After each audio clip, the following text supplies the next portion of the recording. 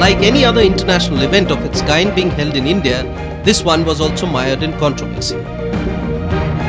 US based Greek composer Yanni had a dream. A dream to perform at the world famous mausoleum built by Mughal Emperor Shah Jahan in Agra for his beloved Mumtaz Mahal.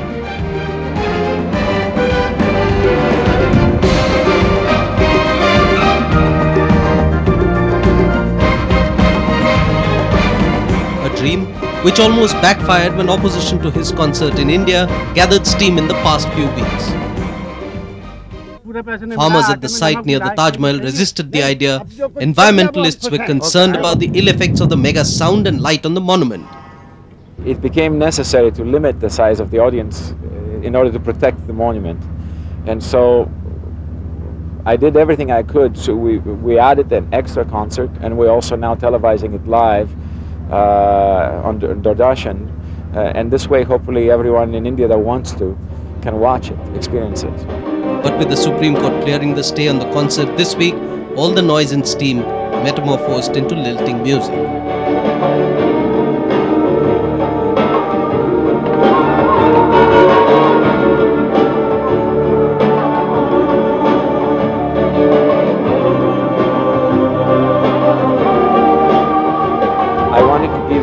One of the many people who, who stand up and try to uh, send a message of unity that we are the same, we're human beings first.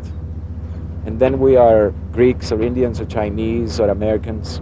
Um, it is not a new message, but I felt coupled with the music that I write and also presenting it in the ultimate in front of the ultimate monument of love the Taj Mahal I think that would make it a very powerful message for the whole world to hear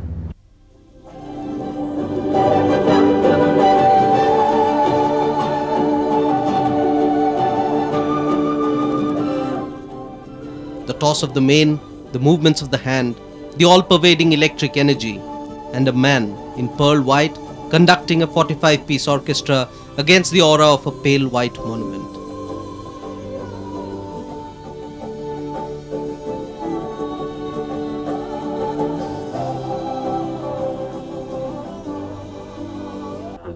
There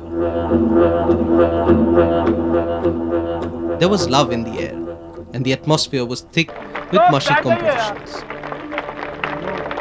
Greek composer Yanni's tryst with the Taj on three moonlit nights was heady with romance and raw passions.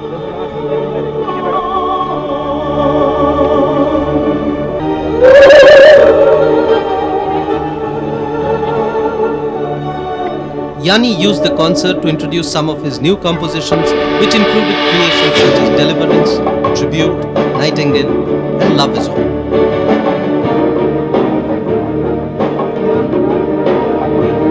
As the night deepened, the music, the monument, and the atmospherics brought about a whiff of the past and a flavor of the present.